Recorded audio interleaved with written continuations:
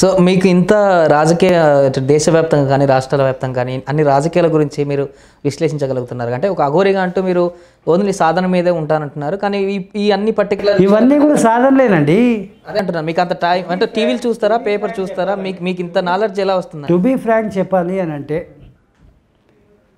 మనము వ్యక్తిగతంగా ఏదైనా కావచ్చు. We must observe the society and as well as universe then only we can live with this universe ప్రపంచంలో కలిసి జీవించేటప్పుడు ప్రపంచ జ్ఞానం కనుక లేకపోతే ఆ మనిషి వింత పశువుతోనే సమానం. ఇది ఖచ్చితమండి. ఎప్పుడైతే జ్ఞానము అనేది అంటే ఏంటి? ఎన్లైట్మెంట్ అంటారు. ఎన్లైట్మెంట్ ఏర్పడిన తర్వాత ఇవన్నీ అవసరం లేదు అనుకుంటారు. అసలు ఎన్లైట్మెంట్ అయిన తర్వాత ఇవన్నీ అవసరం. ఇది కూడా ఒక రకమైన సాధనే. దీని అర్థం ఏంటంటే జ్ఞానము అనేది సత్యం. లౌకిక జీవనము అనేది మాయ. మాయలో జీవిస్తూ సత్యంలో జీవించడం. ఇది సాధన కాదా సో ఇప్పుడు అఘోరీలు అంటే వాళ్ళు వస్త్రాలు లేకుండా ఉంటారు అన్నట్టుగా హిమాలయాల్లో ఉంటారు అట్టుంటారు అని చెప్పేసి అందరికీ తెలిసిన విషయం. మీరు హైదరాబాద్లో ఉంటారు వస్త్రాలతోనే ఉంటారు వాళ్ళు వస్త్రాలు లేకుండా ఉంటారు. మీ సాధన వాళ్ళ సాధన సేమ్ ఉంటుందా? రోజు దినచర్యలలో ఏమైనా మార్పులు ఉంటాయి?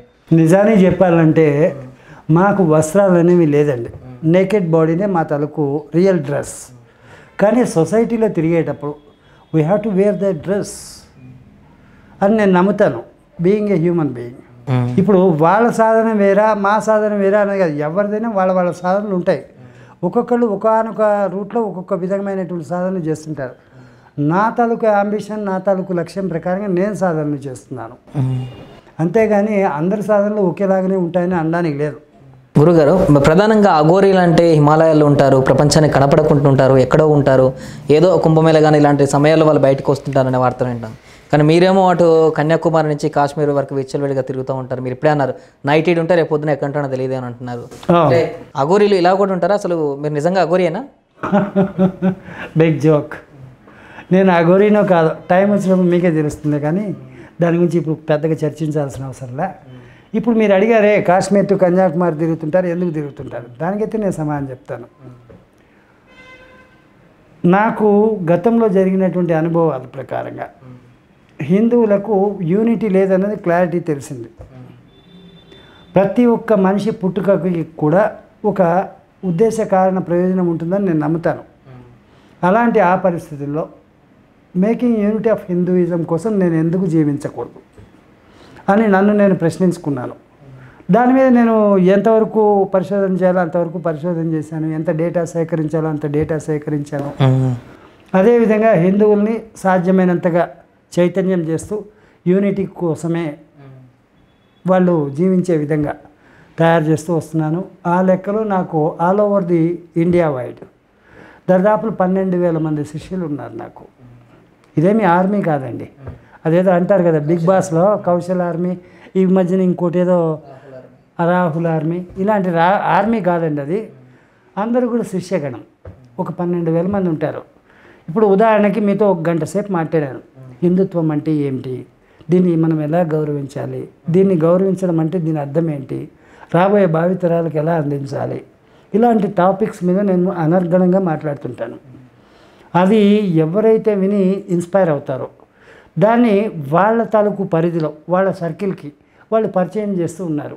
అలాంటి క్రమంలోనే నా ఫోన్ ఎప్పుడూ కూడా ఫుల్ టైట్లో ఉంటుంది. ఫుల్ టైట్ అంటే రోజుకి ఐదు వందల ఫోన్ కాల్స్ సుమారుగా వస్తుంటాయి. అంటే అఘోరీల దగ్గర బేసిక్గా డబ్బులు ఉండవు అని అంటారు. మీ దగ్గర కూడా డబ్బులు ఉండవు అని నేను అనుకుంటున్నాను. అంటే మీరు బండిలో ట్రైన్ వెళ్ళేటప్పుడు ఎట్లా టికెట్ తీసుకుంటూ వెళ్తారా?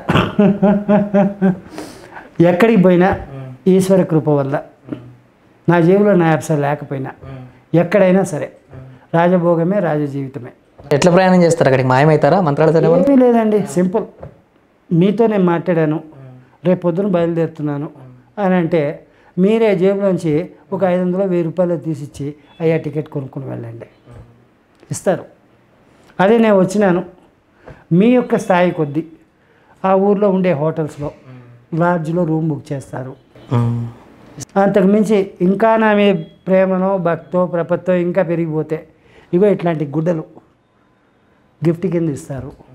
అసలు యాక్చువల్గా మీకు అవసరమే ఉండవు కదా? కరెక్ట్ నేను వేసుకుని తిరుగుతున్నా కదా. నేను తిరుగుతున్నాను అంటే నాకు కూడా గుడ్డలు అవసరం అన్నది వాళ్ళు అర్థం చేసుకున్నట్టే కదా. అంటే సమాజంలో తిరుగుతున్నారు కాబట్టి. అలాంటి పరిస్థితిలో బట్టలు ఇస్తారు. అలాగా కొన్ని కొన్ని ఆశ్రమాల నుంచి పిలుపులు వస్తుంటాయి. వెళ్తుంటాను. వాళ్ళతో సత్సంగం చేస్తుంటాను. వాళ్ళకి ఎలాగ ఆశ్రమ నిర్వహణలో ఎలాంటి ఎలాంటి ముందడుగు వేయాలి ఇవన్నీ చెప్తుంటాను.